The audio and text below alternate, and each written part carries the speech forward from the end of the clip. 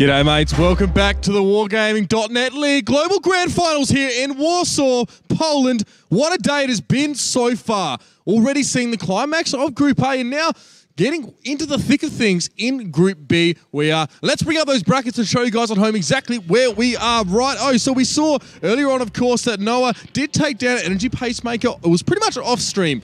We did manage to cut across to see, of course, our Red Rush Unity go up against UAD. And it was a, a bit of an anticlimax, perhaps. Red Rush Unity looked like they definitely had the long and short of that engagement. But now, ladies and gentlemen, we're looking like we're heading towards the game of the round here, possibly. It's going to be NOA up against Red Rush Unity. But I'll leave that to the experts to take you into. So, guys, take it away. Clutch and boys, let's hear it. Thank you, Uber. Gentlemen, I want to talk about how important Korea has been overall in the world of esports.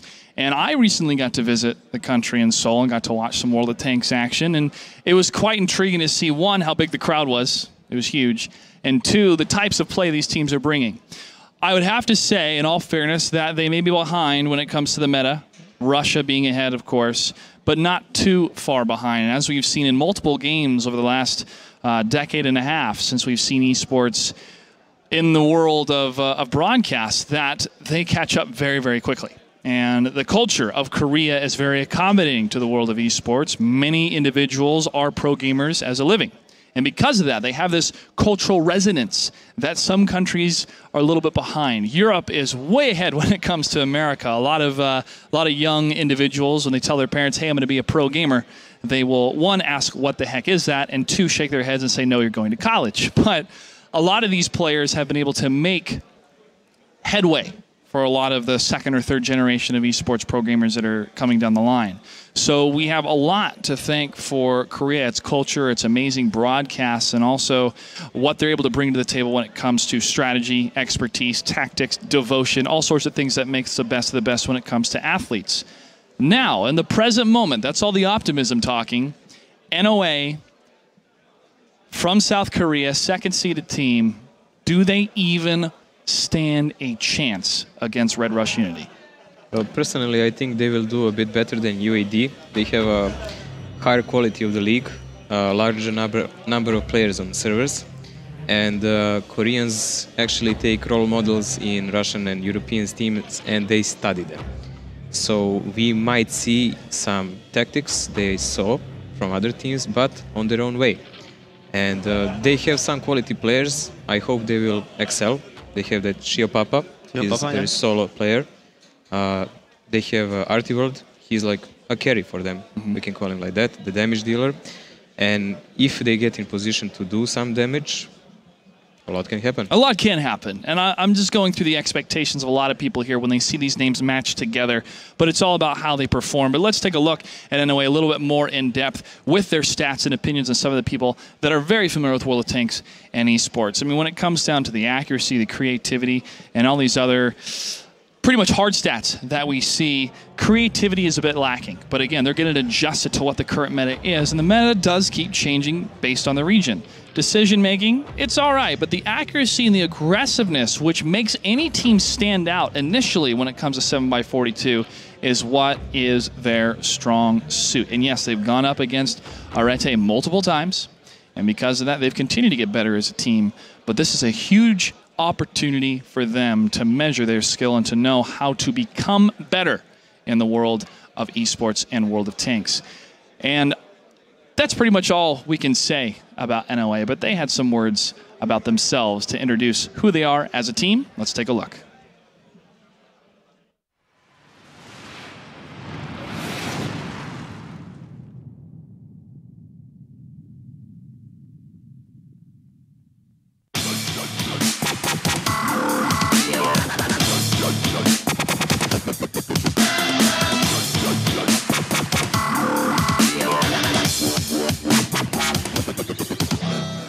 We well prepared and uh, we came to here for win and our target is grand finals.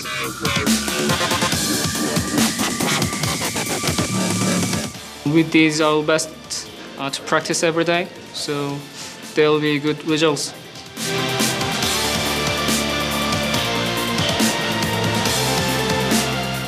Uh, we have uh, courage on this tournament, and I think this is the time to show our NOA team show the strengths to the world.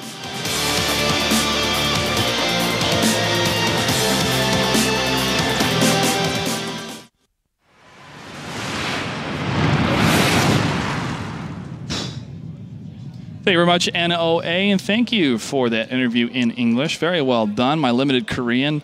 안녕하세요. 감사합니다. Namaste. Hello. Thank you. Nice to meet you. That's about it. Uh, I actually know more Korean than Polish. I got to work on that. But this is a team, again, that we've talked about, gentlemen, that wants to be the best. And that is going to drive any of these teams, especially with how much pressure they put on themselves.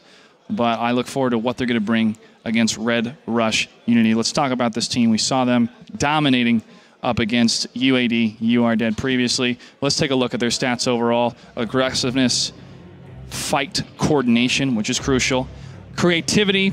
You don't need to be creative when you're effective, right? If you can work together as a team and do well as a team with your fight coordination, you can play the same strategy over and over again as long as it's solid. Yeah, and because they're the Red Rush team, they like to play really aggressive. So it might not show that creative from time to time, but it works. It works. It works. if it works, don't change it. Right, Mr. Mojo? I wouldn't agree. I think they're actually trying to change a lot when they play. Uh, they try to change tactics according to different teams. The problem is that decisive decision making they have because sometimes they just block out or argue between themselves and do some erratic stuff. It's. Uh, I think it's because they are all really good players, like MVPs. They're all MVPs in their teams. So sometimes the MVPs might not do that much good in together, so they might clash inside of the team. So. Well, we got to see them play previously, ladies and gentlemen, but let's go ahead and take a look at what the Red Rush Unity had to say about themselves.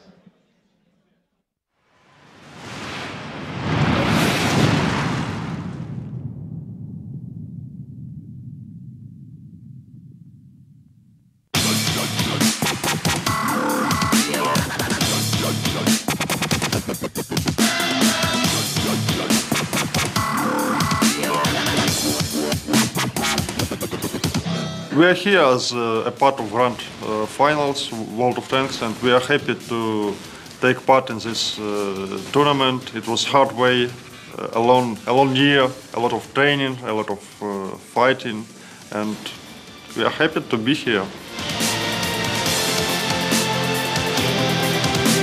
We are not fighters. We, we just here to have fun and to play a great game.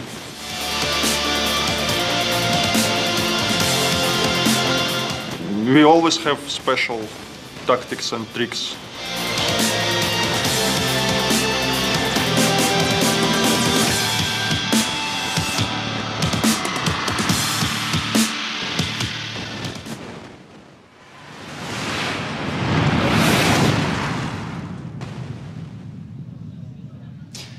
If you're rooting for Red Rush Unity, hashtag special tactics. Those that are familiar with esports know that phrase for another esports professional in a different game.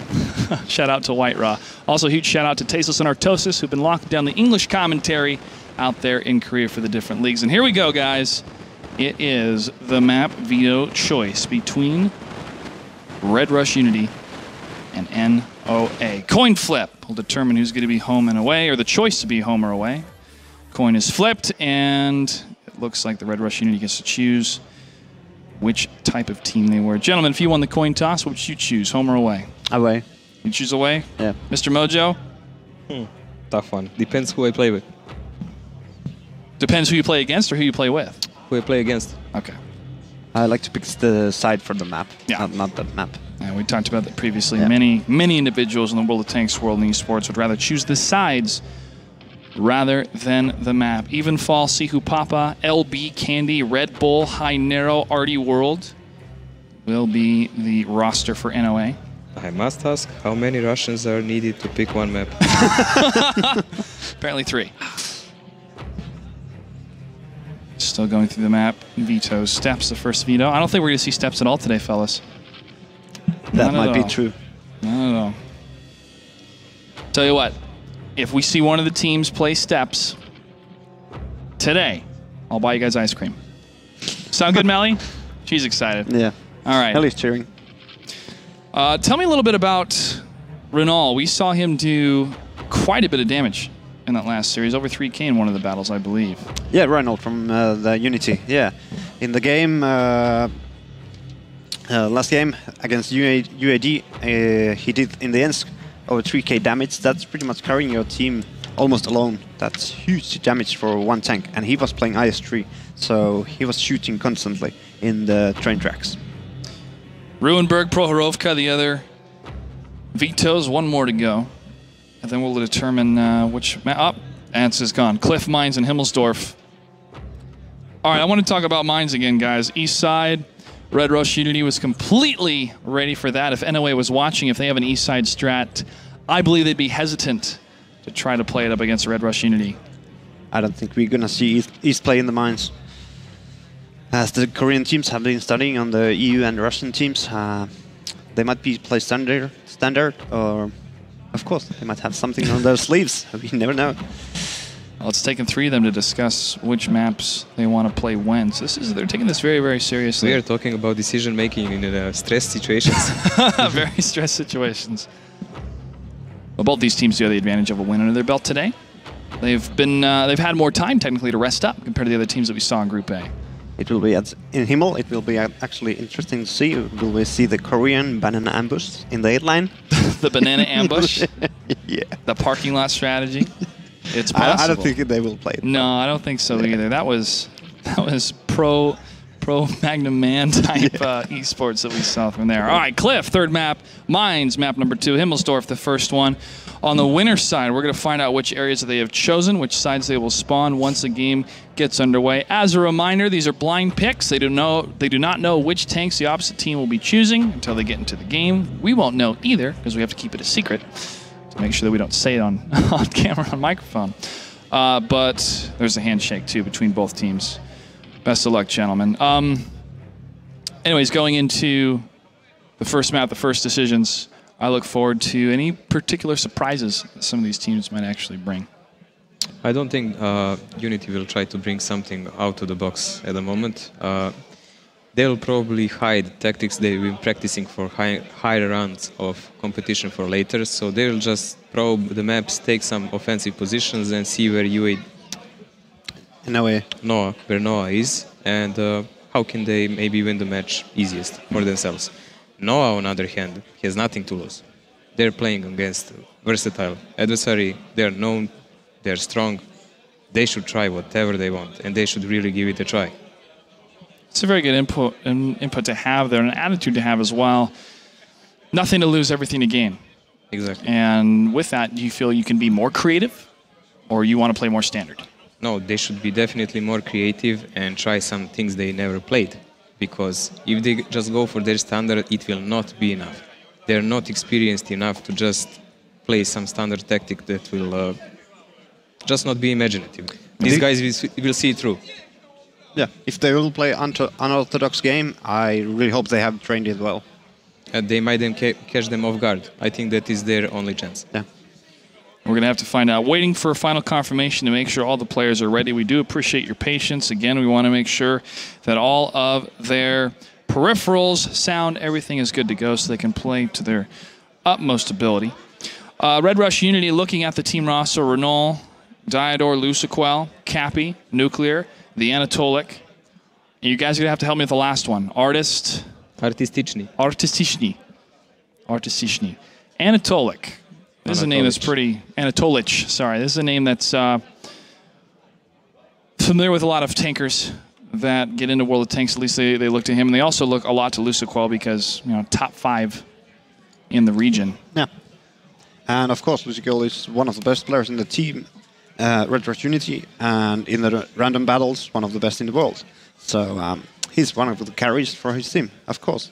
Everyone wants to watch him and learn from him, and that's why he's one of the most popular streamers out there. Yeah, and it's very, very important to learn the tactics to emulate the pros, but also some of these teams have to be careful what they stream. Uh, at least, I don't think teams like to stream coordinated efforts in some of the tournaments. And I remember when we were first streaming tournaments in North America, and some teams are like, "Oh, we don't want to reveal our strategies," and like, that doesn't make any sense. if, if we could not watch team strategies in traditional sports, we'd have no traditional sports. We wouldn't, have, we wouldn't have any broadcasting. That is what allows teams to one, show off their strategy, two, be victorious, and three, to have a certain flow, a certain evolution, a certain vitality to the meta.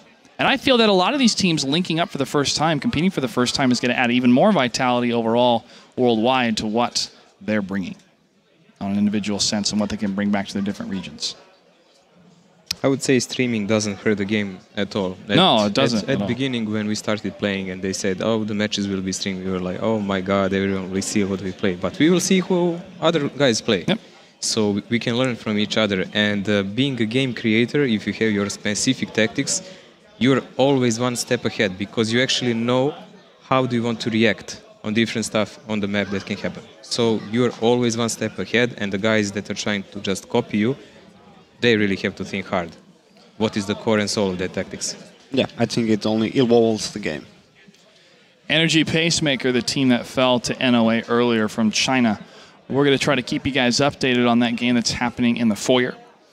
And the winner of that will go on to face the loser of this match. The winner of this match continues on, has to wait for that next match to be complete. Again, still waiting for final confirmation here, ladies and gentlemen. Almost ready to start this first battle. And man, well, this is match number six for us, I believe. Match number seven already. We've had a fantastic crowd in Poland so far. I mean, the, that Le- Lemming Train hype train was fantastic to start off the day. But I feel a lot of these audience members, both here live and around the world, will get to be exposed to new strategies and new new teams here, obviously from around the world. And I look forward to more of the interaction that's happening on Twitter. Hashtag the Grand Finals. Well, I would say of all those teams, uh, we really saw some interesting plays. Uh, the audience came to see Lemming Train, but also the other teams that gather here to play from all around the world. What's specific for this is uh, you cannot see these teams again on the same spot.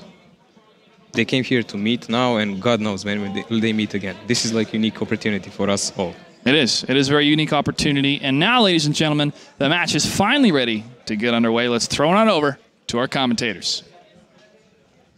Thank you so much, Clutch. And once again, it is me and Oliver. We have been kind of waiting in the wings, watching how these games have been progressing. And already, you know, we haven't seen too much of NOA just yet, but we did get to see a lot of Red Rush Unity, and uh, it looked pretty damn good so far. I think a lot of people questioned how they'd perform as a collective. You know, they're strong individuals, but people question, you know, will they gel as a team here? Will they show what they're made of? So far, I don't think we've seen them tested, but they certainly look good here. Exactly. I mean, you need water to break down gel. You need some pressure. You need some lubricant. And at the moment, UID did not provide that. So we haven't really seen uh, Red Rush Unity tested. Maybe NOA can do that. They've been doing pretty well in second at a few seasons, only to Arete and the other Korean team, the seeded one, which we'll be seeing tomorrow. So this is going to be a very interesting game. I think Unity definitely going to be tested. How much? We're just going to have to wait and see. Very much so, and I think it was summed up quite nicely uh, by the analysis desk earlier. Red, you know, Red Unity, Red Rush Unity have everything to lose here. We've seen a lot of upsets today, whereas NOA coming in, you know, NOA will practice, will look at the demos of the opponents.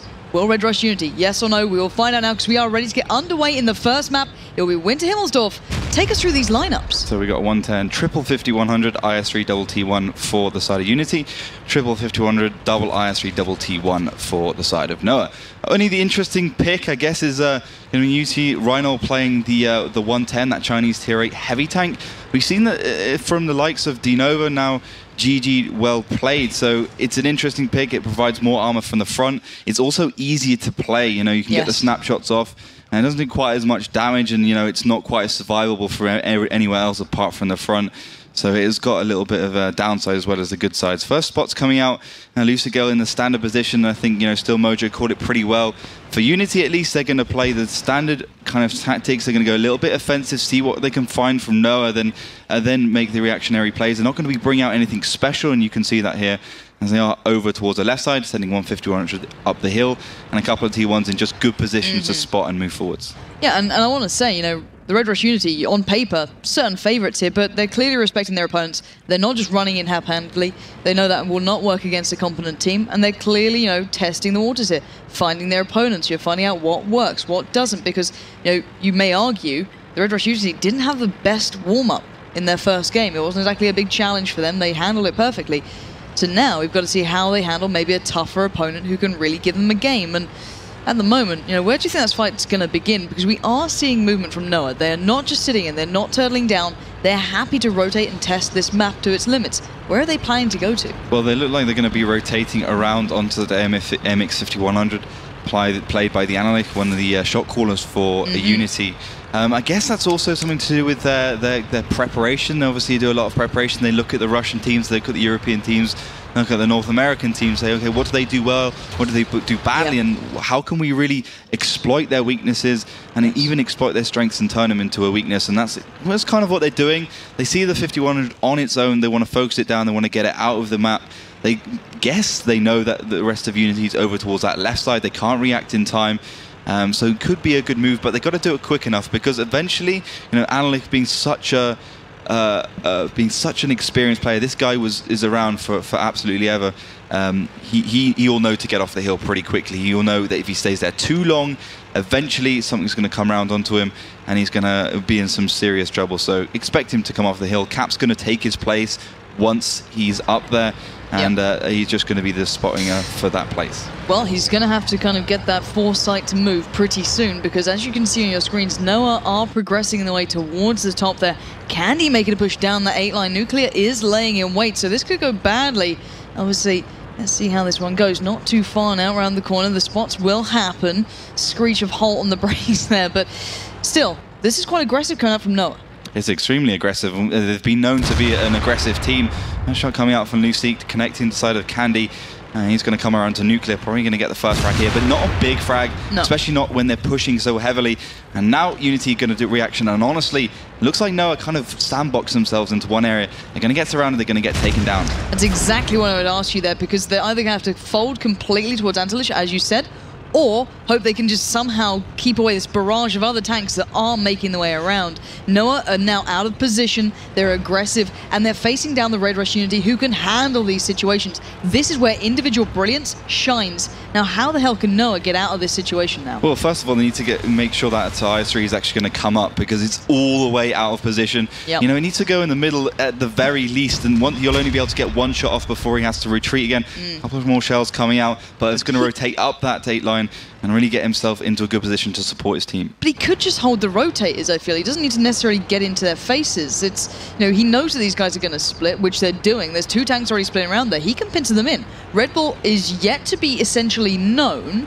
So if these guys push around half-handedly, ex- expecting to take down Shia Papa with no trouble, he could land these shots, and they're going right into the trap now. Red Bull needs to make this count, however. He's got to make these shots really hurt, and at the moment, right now, Artie are just focusing down Shia Papa. He's gone low. He's almost down and out. He's 58 HP left. He's surely going to be taken down. Candy now coming around into the battle. This is low as well, but this is not going down just yet. Only two players lost from Red Rush Unity, two from NOA. This is a close battle, and Red Bull is doing the damage. Artie is low. He could go down. The reload, however, may hold him back, but Candy comes onto the scene, gets the kill. That is brilliant play. NOA may be causing a bit of an upset here, ladies and gents. NOA are not down. They are not out, and Rhino is now surrounded. Candy and Red Bull just pincering him down, but here comes Antlish, here to save the day, possibly. We can only find out Rhino does have Rio. He takes down the opponent, and is back almost all even. Analytic is trying to get on the reload so he can rotate back around. But the thing is, Rhino and Diador have got to do as much damage as pos- possible. So when he's off the reload, he can do it all. Diador coming in. Let's see what he can do. And you do have one player extraordinary. He's been picked up. This is unbelievable. NOA could win the first map here. The Red Rush Unity are being picked to pieces as one man now stands. He goes for the ramp to save the ammunition. He doesn't even have reload yet. But three players stand. He can do this. Do not get me wrong. But this is going to take a miracle. It's going to take a, more than a miracle, I think. And it's going to take some absolutely amazing players. We've seen this before on Himmelsdorf, though. One tank taking out three, you know, one versus three. It's it's not impossible, but it's pretty hard. If you look at the kind of HP uh, uh, the uh, NOA guys are sitting on, you've got RT World sitting on 218, White Morpho sitting on 11 HP, and Candy the only one with a little bit, uh, Little bit of room to play with. Exactly, one shot to play with, 521. Everyone else is a two shot on Candy. Uh, is a one shot and Candy is a two shot. So they've got to stick together, which is exactly what they're doing. They've got to get the right angle on. Obviously, the Analytic playing the 5100, which is the perfect clutch tank for this situation, he's got to be in the right position, and he's going to get there. He's going to get behind where the, the kind of uh, hold down position is. Okay, it's a 5100, so he doesn't have that much armor, but it'll still be a great position. Well, Candy now peers around the corner. They've got a good idea. Not 100%, they're going to get the cap underway. This is going to give him a chance here. Antelish lays in wait, Perfect. waiting for the moment to pound here. The clock is ticking, but he knows he's got time. First shot's coming through. He did not land that one. No one has gone down yet. This is unbelievable. He could lose this. 1v3. Can he stop this in its tracks? Candy goes for the pier. He's toying with him. He knows where they are. They've teased him out. They've baited him in. There's no way he can run and hide from this. He's down! NOA have caused a huge upset. Korea's second team here have taken down a near-on favourite coming to this tournament. And Adley must be kicking himself a little bit there because he could have done that. He was in the right position at the right time, but three bounces just simply isn't good enough. he should have been hitting them. He should have been making them count, but now he's going to be kicking himself there. And I think once again, you know, uh, Unity underestimated NOA completely. They Yes. pushed around without that intelligence. They didn't know where that fifth Red Bull. They ignored Red Bull they as did not know where that fifth tank was at all. They thought, okay, we're the we're the best players in the world. We're going to push in. We're going to surround them. Fair enough. Yep, there's no problem with if- that. If you don't have any, exactly four tanks against five, you're going to win that engagement. But you're not going to win it if you're pushing around when there's another tank behind you on the rotate on the flank. And Red Bull was in the right place at the right time to do that damage, and he did it perfectly. He pushed in, pushing, uh, I believe, Cap out the way so he couldn't actually engage. Yes. So Unity now one point to, to the worst. NOA's taking up Mm-hmm. a point here. So all NOA needs to do is draw the next map and to, to throw Unity back down into that uh, losers bracket. So they're going to have to get themselves back into this game. And NOA, very impressive stuff. stunning stuff. And I've got to say, you know, credit to the Korean scene. Obviously, the two best teams out there, they're known as rivals. You know, mm-hmm. Arete and NOA, they go head to head. They're, they're known to kind of a little bit of banter, but, you know, at the end, there was cheers, there was claps, there was a lot of smiles across their faces. It's always good to see upsets in this. You know, even Victor at the start said he wants to see an underdog do well, and I think we might be seeing that right now. I don't think anyone would have expected NOA to even pick up a map, especially not Himmelsdorf, one of the most kind of standardized maps. It's not where you get some crazy tank choices. You might get a 110 in there, but it's not like you're going to see RT suddenly becoming available. You know what I mean? It's, it's something that we know how to play. These guys know how to play, but as you said, that kind of lack of concentration, that slight hap-handed approach, they kind of threw it away themselves then. Yeah, and what was that T- 110 for? You know, I, I really don't. They didn't even put it to the place that we've seen all- it useful. That's exactly it. That was that was hap-handed approach with your tank picking. Um, the 110, it's been used effectively on on let's say Ensk. Um, okay, we've seen a couple of times, especially from the south, from GG Well Played on on on Himmelsdorf, but I haven't really been that impressed, and and there it really didn't do very much. It survived quite a long time against Red Bull, but um, it just couldn't get the damage down. It was bouncing shots. It, you know, he unbelievably, you know, for such a good player, he was actually just hitting the tracks of the IS3. He was getting completely outplayed. That would have made a big difference if he actually managed to hit the shots. And I think the 5100, an extra 5100, would have, would have really benefited that team in terms of the burst potential they, do, they can do um, to really thwart off a a very aggressive NOA. And, and, you know, we are talking about this aggression before. They are an aggressive team. Yes. Um, some somewhat more than Arete, their, their Korean counterparts, uh, which so far is catching Unity off guard. Obviously, we got Mines to think about next. Um, an aggressive map overall. So, do you think that aggressiveness is really going to, you know, play to their favor once again? John, it's hard to say. We, I, I always, when you come to these questions, look back to the European leagues and the results we've seen. So, for example, Virtus.pro and Dignitas at the time, two top teams, two best teams, near and untouchable, barely losing maps. The only teams that pick up games against them are the crazy aggressive strategies, the Spales, the Kazna Krus, who used to be able to just do something out of the box and catch them out. And we're seeing it again here. These top teams, these very serious, very tactical, very you know hunkered down to the millisecond teams. When someone rushes at you and depends on you know those quick reactions, those team fights, those cohesive moments, they can crumble. And it's exactly what happened on Himmelsdorf. We can only find out if it's going to happen on Mines. We are near on ready to get underway here, and I'm not sure what we're going to see. You know, aggression is great, but it has to be within a certain amount of control. Otherwise, we're going to see another push around the wrong side of that hill, and it's going to go very downhill very quickly.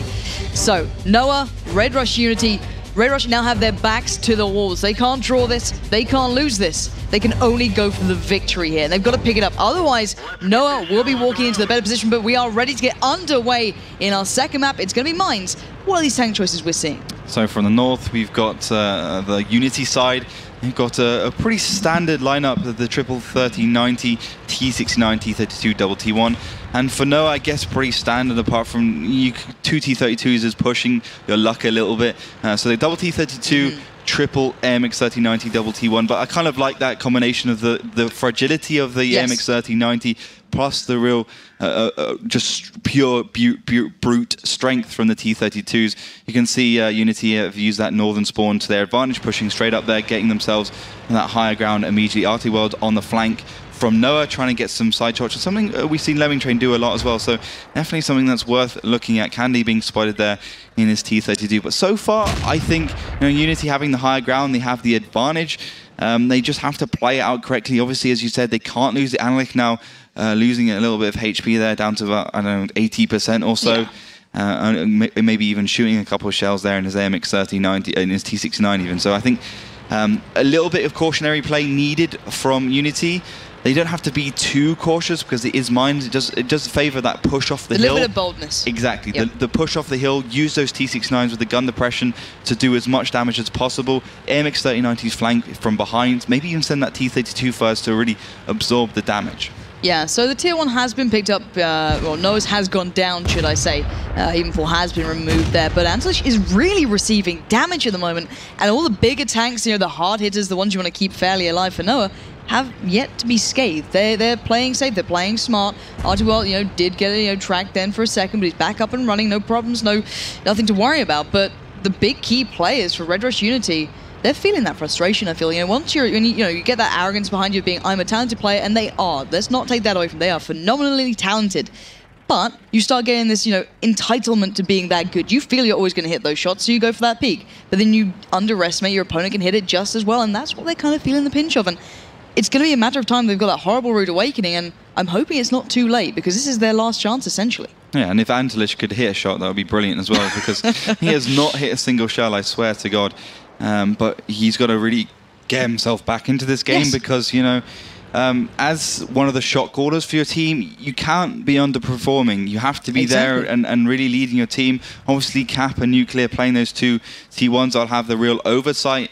Um, it's quite funny, actually, you know, Cap and Nuclear. They're such brilliant players. I mean, Cap was one of the main players in Unity anyway, and Red Rush Team 3 when that was around. Nuclear, obviously coming from Red Gra, um, also a fantastic player. Seeing, seeing that talent in Tier 1s um, is quite funny, but that's that's pretty much the norm for this level of play. Um, you, you really just have brilliant players for all seven and however many you know substitutes you have. uh, That could be for one to three in this case. So I, I want to look at what Red Rush Unity are doing here. Adelish is going so low. He's down to 5-5-3. Yet to get full engagement here. You know, Adelish is surrounded. He's got Candy there. The Red Bull's there. You know, Shia Papa is not far away either. So he's pretty much surrounded. He can't do much. But I want to talk about this lighthouse stack going on right here, coming out from Red Rush Unity. Three tanks waiting on this. What are they waiting for? they're just waiting for an opportunity to push. You know, they're testing the waters a little bit. Maybe they can uh, find a way in. They know Artie World's on his own. They know what NOA has in that position of the map, so they can be fairly confident. Obviously, the distraction coming from their main tanks on their hill and towards the middle. Um, is going to provide a lot of uh, a lot of respite if they do decide to push forwards. Alec has got to be careful though. He's been, he's, as I said before, he's been playing very questionably. It seems like he really wants to, you know, prove to his team that he is a brilliant player. So he's kind of making unnecessary, uh, unnecessary moves and taking unnecessary damage. Yeah, we did see Nuclear try and sneak around down that 8 and 9 line. He got picked up in the end by White Morph in that 1390. So, really no luck yet for either side. This is very much a stalemate. Everyone knows what's on the line here, but at the end of the day, NOA can draw this and still walk away with a victory. But Red Rush needs to get in this. There we go. That's better play from this spot. Antelish backed away. You know, the other player coming in now, playing a little bit of getting that shot down towards Red Bull. They've got a hit onto Candy. Another one coming through. That is better work coming out from Red Rush. And we're seeing the rotate coming through as well. They're going to be pushing around. They know that uh, NOA's kind of out of position. Let Diador in that fantastic position. I'm not sure why Diador didn't push forwards enough. I think Yeah. he, ex- he expected too much pressure from Candy, but they've also got Rhino on the hill, so I'm not sure uh, why he didn't get there earlier because he's doing some fantastic work there. Candy taking a little bit of uh, a little bit of damage, or he didn't take any damage. Took a shell from Anal- the Antelich, so. Um, he's going to have to retreat Dido on the reply as well, taking him down to about 40%. So he's going to be very careful. The pressure is now on to NOA. Unity have the hill, they have the middle area. All they need to do is kind of link all those elements together, really find the weakness, which at the moment is Candy and Red Bull. Honestly, if Unity just charge down through the middle, they take down Candy, they just leave Red Bull to get into the water then they're okay uh, and they should be able to clean up the rest. Artie and Lucy Kell are heading around towards the side. Anlich in uh, hot pursuit. Rhino's just there as kind of an overseer to make sure that no one's actually going to spot them and take them out. As we can see, LB in that T1, he's going to head around at the perfect time, perhaps, to spot that push. Yeah, and LB might just save the day here. You wonder what T1s do, you're going to find out. If he gets the spot on this, he could save a huge upset coming towards NOA. NOA, you know, they may not be in the most ideal position right now, but they're in a safe enough one that they'll have to depend on the oppo opposition making the move. Here comes that spot. LB, he's pretty much going to save the day. There's one spot, there's the second. He's going to die for it, but still, that's two tanks now found. That's an unbelievable move from LB. Perfect timing, perfect positioning, perfect instinctual play, but doesn't matter. Unity you're going to charge on. Yeah, now his team needs to step up to the plate. He's done the hard work. He's put the work in. They now need to land these shots. They're playing to the time limit. Three minutes and 47 left. Here comes the fire. And well, at the moment, it's the Red Rush Unity walking away with a huge advantage. Yes, they're down low, but R2L, Chia Papa, White Morph, and Red Bull need to get into this battle. They're looking for the draw rather than the victory. They're playing too passive. They made the moves on the first map. They played so well. Now, it's like a, a literally a light switch has gone off, and they're like, okay, we're going to turtle down and just hope the time runs out. Exactly, you can't do that against Unity. Um, okay, they're one win up and all they have to do is draw, but Unity definitely a good team at uh, countering that. They've had to do that. You know, this is a team that came second against Na'Vi twice in a row for season two and three. You know, and they're finally landing some damage onto Shio Papa, if I can pronounce his name properly. Dido now heading off the hill. He knows Red Bull's low. RT World is kind of out of position. He's retreating On that. MX-3090, and he has the perfect gun depression. Dido is going to be a real threat. Yeah, indeed. This guy has been doing serious work. 11 shots, 5 have hit, and all of them have been vitally important to this point. But White Morph is getting a good couple of shells down, but it does not mean that Red Bull will survive this onslaught anytime soon. And still, no real move or reply coming in from NOA. They're just sitting there and taking it like a champ, and they need to do something. And at the moment, it might be R2L now coming around. He's looking to challenge. He gets the first, but it's going to be horrible for him. He's literally got like five tanks staring him down right now. Surely he's going to fall. He's going to take Dido quite low. He's going to take the kill. This is unbelievable stuff. How are they still alive right now? Another missed shot from the MX-3090, definitely not helping Diodor in that situation at all, bringing both teams pretty much even apart from the extra tier 1 for Unity. They don't seem to be really categorizing on the uh, on their real advantage they had for at least two minutes. Yes. Uh, Artie and Lucikel sitting there, not hitting the shells. Hanlik is very lucky to get away from that one on, on by the skin of his teeth. Artie's starting to get on support. The only thing that Unity has now is the fact that most of NOA are on reload and Artie World get taken down. That's the favor back into the side of Unity. Yeah, but it's so close. Okay, Red Bull, he's got reload now. White Morph is pretty much safe. Shia Papa may be in trouble. Now, White Morph might be as well. He's got players left, right, and center. He's trying to avoid it, but you can see players are literally waiting. They're salivating at the idea of taking these guys down, but they're dodging the shells coming through. 1 minute 36. They're still alive here. There finally goes one more, but Shia Papa and Red Bull are still alive and kicking. Can they take them down in time? Um, I, I, really doubt it, to be honest. Red Bull's on, on very low amount of HP. If, if, he had wings, he might be able to fly off, but I just don't think he does. Lucikel's going to charge on, and undoubtedly he's going to take him down or not. He's just going to hit the, the tracks of the uh, T-32. That is the advantage. So frag going to Lucikel, leaving only Shio Papa left. Shio Papa would have to do something truly unbelievable to pull this one off. He's taking a bit of a pounding already. 96 HP, he goes down, and the Red Rush Unity get back into the game. But I can tell you right now, that was not a pretty sight from either side. I'm not sure if NOA thought, okay, we can just sit back and play this one out. Or, you know, I don't know what happened there. They literally did not make a move. And we have learned time and time again, sometimes, you know, fortune does favor the bold in this one and the brave and making that little, you know, advance. Look at Himmelsdorf. It proved to be true. You made that first move, you made that engagement, you, you kind of lead the pace. You get to do well. But in that game, what happened to them? I mean, I understand that from the south, it's definitely easier to defend because you have those buildings and you can kind of defend in the cap. But uh, you still have to be aggressive. You know, you can't allow a team to have the hill dominance for so long. Um, you could see how much uh, uh, just pure staying ability Dido Yeah. have. Okay, you know, he didn't do the most amount of damage in the world, but he really did put, put a thorn in the side of NOA. And then the, the charge through the middle by Unity uh, with the two MX 3090s really just put it split it split NOA in half. You had tanks on the left and tanks on the right, and they couldn't cohese, and, and it all just fell apart from that point onwards. But still, they had they had a few moments of brilliance. That push from the MX 3090 onto Diodor, taking him down was very good. And then from that point onwards, that that MX 39 should have just pushed up the hill.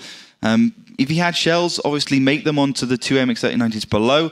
If not, reload. And then when he's got those six shells left, just push in and do the damage he needs to do. And, you know, Unity took a fair amount of damage. For instance, RT World did almost 1.6k in that MX 3090. Red Bull almost a thousand. Shio Papa almost a thousand. White Morph 900. So it's not like they didn't do any damage at all and they didn't take Unity low.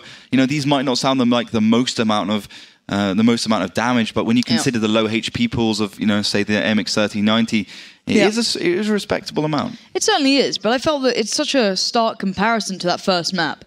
We saw them take charge, we saw them surprise, and sometimes, you know, when, when you ignore the fear of a name you're facing off against, so when you face Na'Vi, when you face Virtus Pro, when you face these guys, or Fnatic, anyone who has this name, the instant fear of it can be just as effective as the actual team. And sometimes if you can get over that and play your game and almost disregard who you're facing at times, you can come out on top. And we saw them do on the first map. They ignored the fact that everyone knows these guys are insanely good one on one. They ignored that. They went, okay, we'll play our game and we'll play it well.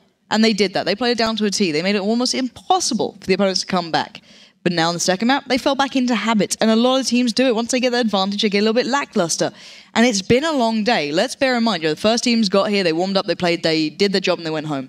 These guys have been waiting, they've been watching the games, learning the opponents, which is just as beneficial in the long run. But they're also maybe not as warmed up. They may not be as fresh. You know, they may be a little bit tired. These guys don't exactly live down the road, let's just say. You know, it's, it's a long flight to get here for these guys. Um, but hopefully we can see something coming in on Cliff because obviously we are going into that for a for our third map now. But I don't know what to expect from these guys. You know, Red Unity, you know, Red Rush Unity, they look phenomenal uh, in moments. There's glimpses of absolute brilliance, but it can fade just as quickly as it appears. And I think the kind of consistency question mark that appears around their performance on occasion is seeming to ring a little bit true here. Yeah, it's it's all about the consistency at the end of the day. Um, if you can't just if you can't put out the consistent results, we've seen it from you know the likes of the European League where Spale they, they managed to destroy a lot of the uh, a lot of the Russian teams. They were the first team to beat Virtus Pro, the only team to beat Virtus Pro in season one, um, but couldn't you couldn't beat the, the teams further down the table, and that was Yeah. ultimately their downfall. You didn't make it to season three, and the team disbanded. So consistency is the name of the game in, in every discipline. You know, getting up, training, making sure you're doing everything perfect. Good practice is the best practice. And you know, making sure that you're you're eating properly, you're going to the gym, you're making sure you're healthy. That's all very important for your state of mind. And you know, obviously, this is as much about a me, uh, me, your mental game, mentality. yeah. Exactly. It, it's about tactics. It's not just about Twitch. Um, you've got to have that real like RTS oversight and also just the, the real ability to hit the shots when you need. We've seen that time and time to get time time and time today. For instance, Elian versus Pavel in that infamous match on Himmelsdorf. Uh, as we do start to make our way into our third and final map, Cliff. Indeed. So for this one, it's going to be the decider essentially. So in the south, in the red, it's going to be NOA. In the north, in the blue, it will be the Red Rush Unity tied at one to one. A phenomenal first map showing that NOA truly have bite to their bark. But in the second, it kind of fell to pieces. And the kind of you know individual ability, that kind of performance-based tactics came into front for the Red Rush Unity. But now, what are we looking at here? It looks fairly even. Uh, pretty much a mirror match. Diodor, Rhino playing those two uh, T69. Triple MX 3090, that's An Anlich, Artie, and Lucy Kell. And uh, for the side of NOA, we got two T69s and three MX 3090s as well. T69 by Candy and Red Bull, MX 3090, Artie World, Shio Papa, and White Morph. And it does look like uh, NOA pushing up very aggressively up the hill. No team going for this one-two line push and up the hill. That's a bit, a little bit strange. Uh, Also, that's coming out for Unity. Anlik straight away heading over towards the left side. He had the best spawn, the AMX 3090. That's why he's got that job. Artie for the middle place, Diador, and the other T69 just sitting up behind, making sure they provide that backup and also the gun depression. First couple of shells coming out, one responding. NOA sitting back. That's going to be a problem for them. It certainly will be. NOA do not have those positions they need, and Dido, we don't have to give him two bites of the cherry. This guy did so much work for his team on the map, just gone, and Candy once again is feeling the brunt of it, down to 580 HP, 83, he is gone from the map already, and the Red Rush Unity off to a brilliant start. They have to push back now. Unity's on reload. They can't be too aggressive despite their Yep. perfect, perfect start. One tier 8 tank down. But look at the HP difference. Rhino's down to 582, Analyc down to 873. Well, pretty much the rest of NOA's on 100% HP. But that is exactly what Unity wanted to achieve. They're not going to spread the damage across the whole team. They want to get one gun out of the game if they can. That's Candy, who was out of position and unable to be supported by the rest of his team. And you should call him Candy Crush because he was completely obliterated. Uh, Shio Papa's going to try and, and get some spots out across. He's actually in a really good position. This is a position we've seen a lot of since the game has changed. That rock was added to, to, to the top of that hill, and, and it really is great. Oh, obviously, physics allowing that. Nuclear now heading up around, trying to get spots in the T1, and that's perfect play from Unity because they have that tier 8 advantage. They don't need to sacrifice anymore. They can use the tier 1s, get the information, maybe do some damage with the Anlik on the hill. Uh, and then if they really need to, they can use rest of their tanks, push in and clean up. Yeah, and we've seen actually some great tier one play as well, and the positioning has been brilliant. The last map, you know, pretty much showing the push coming in from the Red Rush Unity was sensational. Sadly, they could do nothing about it by the time it was kind of found, but at the moment, you know, we, we can clearly see an advantage of numbers, but positioning-wise, I think you explained to me, obviously, that maybe the Red Rush Unity have, you know, a bit of an upper hand here. But how can NOA come back around this now? Where is their path to get their way back in this game, in this map? Well, certainly not what they're doing right now, which is pretty much spreading all their tanks around the entirety of the uh, second half of the map.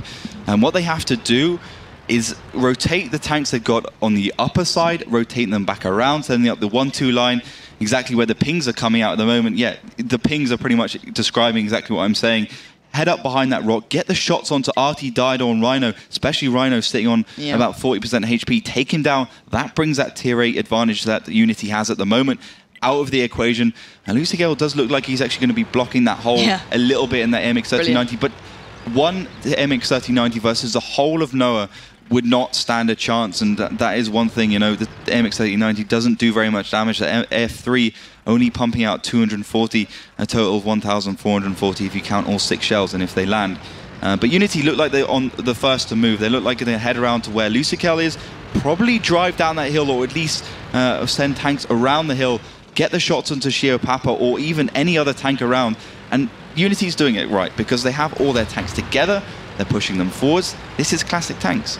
Yeah, and it's what we expect from you know players of this caliber. They are truly phenomenal. But let's see if they can make it count now. You know, Antelish has got a couple of shots coming across. Shio Papa does find one in return, so a good exchange so far. And actually, Antelish going low, but there we go. Goodbye, Antelish. That was a very short kind of uh, appearance from him in this one. Now Shio Papa may be in trouble. He's got about four players literally rolling into his position right now. Nuclear's going low. Rhino has got another shell.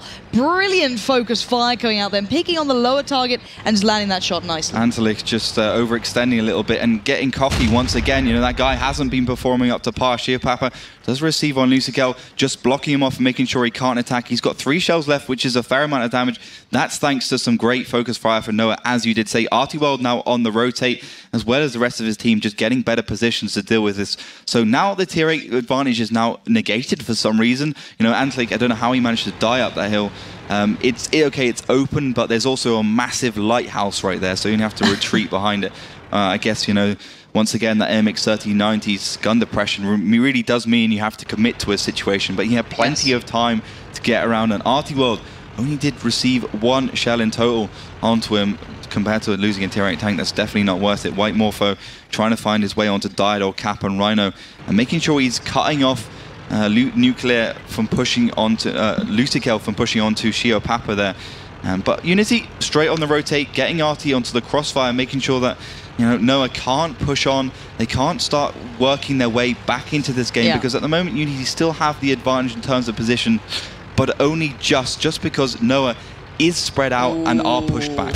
White Morph is now in trouble. He's been outflanked by Artie. Artie is not going to miss his shells, but he's got some coming back towards him. He's down to 6 for 8. He's forced to back away. Well played by the teammates there, but has it drawn enough attention away from the others to just kind of distinguish that crossfire that was really holding them in place? Uh, just about. He, he did his job then. He did the damage and he got out of there. He didn't overextend. He didn't overstay as welcome. He took, took did two shots, took one. That's fair enough. He's going to be on rotate. That means Unity aren't going to be doing anything for, let's say, the next 25 mm-hmm. seconds, and then they're going to be, make their next move. Obviously, they want all tanks to have full uh, full clips. So Rhino's okay, shot one, Dido shot one, Lucikel shot one, but that's okay. That's pretty much standard. Uh, but it doesn't look like uh, NOA are going to be uh, pushing some tanks around. Uh, LB's been spotted. Dido indeed going to be in the perfect position. And LB, he's not going to be able to deal with him. No, and Shia Papa is the one who's going to be worried. He's down to a middle. Oh, he's been taken down, removed from the map again. This is not looking too good this time. They, they've been chipping back. They've been finding small replies, but just the out positioning coming out from the Red Rush Unity has been phenomenal. And Artiwad is going on towards Artie, so it's the Artie combo going up against each other here. Red Bull is not too far around, you know, behind either, so they're trying to make a play from this. They're trying to do something. They're not just sitting back this time. It's not mines again. This is something very different here. Yeah, they've got to really retreat now, and uh, White Morpho's pushing. And well, he's found a player. That's all he had to do. Rhino does join in, but he didn't really help his teammate out too much. Oh, he does find Artie then, but not going to land that. And Red Bull and Artie just backing away, toying with Rhino's uh, sense to peek. They know what these guys are like, and you can see Lucicu is desperate to get into these battles. He wants to get these fights done. He's not going to waste that shell. He's going to find LB in a different manner. And right now, who's got the advantage here? Well, just about uh, Unity taking down that tier one. Otherwise, it was pretty even. As you can see, uh, Eventforce finding his way towards the cap of Unity. That's going to put pressure on Artie World. Is going to be there as backup on the rotate. If he can take down Rhino on the way, that would be absolutely fantastic. But the kind of damage that uh, both these teams have to do is pretty similar. Apart from Dido, he has got a, ma a, massive amount of HP left. He's pretty much 100%. But against those autoloaders, it doesn't make all big of a difference. Yeah, so let's find out now as uh, Rhino and Red Bull are just toying with each other around this corner as the cap does begin. NOA trying to get this one underway, force the hand of the Red Rush Unity. One player has snuck through the defense of NOA, who are trying to hold this one back, and Red Bull once again eyeing up the opponents who are waiting to now appear. Dido does come around the corner. Red Bull is in trouble. He is down, just two alive for NOA. This is do or die. The clock is so far away from being completed as just Artie World and White Morpho now stand. Artie World should have really done a better job then. He was in charge of, of, of really getting rid of that crossfire. He was in a good position as well. He just didn't land those shells. And Lucikel, he was out of position because he should have been there to deal with anything that was going to be trying to crossfire. Caps are now in the cap. White Morpho will take him down, so that's at least alleviated for the side of NOA. But Artie on 131 HP, White Morpho on 279. What can they do? We're about to find out because I believe those shells are coming in thick and fast. Rhino making it hurt. White Morph is down to literally a slither of health. 13 HP left towards him. His teammate has been decimated, and now this is just not looking too good. Dido is on the hunt. This man is still so dangerous. 881 HP. This is looking bad news for NOA after such a phenomenal start. Really drawing attention to who they are. But at the moment, it's Whitemorph, and that's pretty much it. Doing what he can. He's just about surviving, but I don't know how these shells aren't landing. He's still just dodging, but there we have it. He gets destroyed. And now one more map in the map well, in the bag, Rush Unity. These guys, they didn't do it pretty. It was not a good looking game, but they made it count. It was very methodical at the end there, but they don't look as potent as, let's say, Lemming Train. Yeah, they don't look like they're quite as composed and have that flair that Lemming Train has been having. So if, if, if, it does come to it, I think, you know, Lemming Train will be able to take that game. But uh, the, the series will go to Unity two to one. No, only yes. picking up the first map. That was Himmelsdorf. Some uh, down to some fantastic play by Red Bull in the I, in the IS3. Unity took mines pretty clear cut, I would say. Cliff once again going to Unity down to some just standard play on yeah. that map, just knowing how the map works, having more of an idea of the coordination that's required there, and especially those AMX 1390s played. The Analytic only the one who's really you know st stuck out like a sore thumb up mm. on top of that uh, lighthouse. You know, but at the end of the day, Unity really pulling out the win they needed. These are the kind of ones they need to pick up. NOA, that's really good put, to see. Did actually. put up some uh, some good you know, good resistance, but just not quite enough to take down the Giants. Yeah, and, and I do want to point out, you know, that there's there's obviously a lot of respect between these teams. But it's brilliant to see, obviously, two teams that don't meet often. You know, after that first map, I think they had a bit of a rude awakening, and they clearly understand their opponents. Not to be messed around, but it is good feelings all around between these guys. The Red Rush Unity look a little bit relieved more than anything. And NOA, I think that they can walk away from this if they do go out in the next couple of games and say, well, we showed something that a lot of teams didn't. We had something that was new, that was aggressive, that was dangerous, that shook one of the core teams to their core. Essentially, it, was- it was it, it was terrifying to see because if only they could have done that on the next couple of maps. They had minds. Maybe not the best start to it, but it was certainly a possibility to make something happen like that again.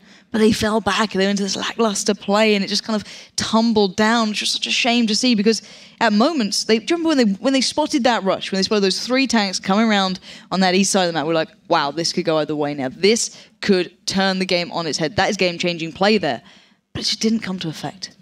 Yeah, it was a shame they didn't they didn't have the maybe the experience to, to see that weakness and push it in. Yes. But you know, in terms of the overall bracket, that means you know NOA does go down to fight You Are Dead. That's Asia versus Korea, and Unity is just going to be waiting for the result of that, and uh, whoever wins that will be going out through uh, Group B until tomorrow's game. Obviously, two teams from today. Obviously, Lemming Train qualifying already Yep. through Group A, the Group of Death, taking down Synergy and finally Simp. So massive congratulations to them once again.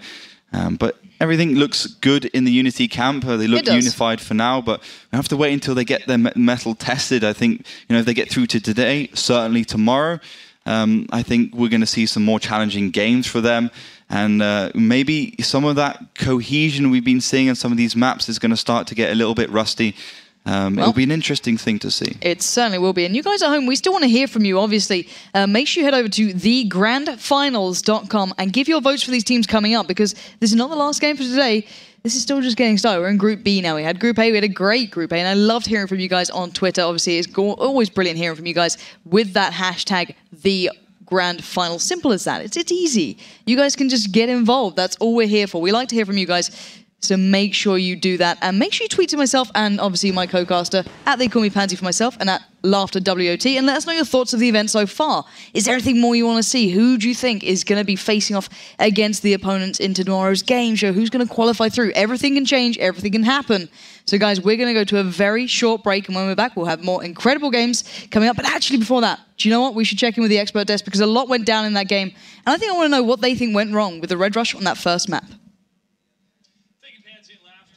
Done to NOA. They brought the Red Rush Unity to the brink in that rubber match. But looking at game one, gentlemen, what went right for NOA on Himmelsdorf was erratic. It was unorthodox type play.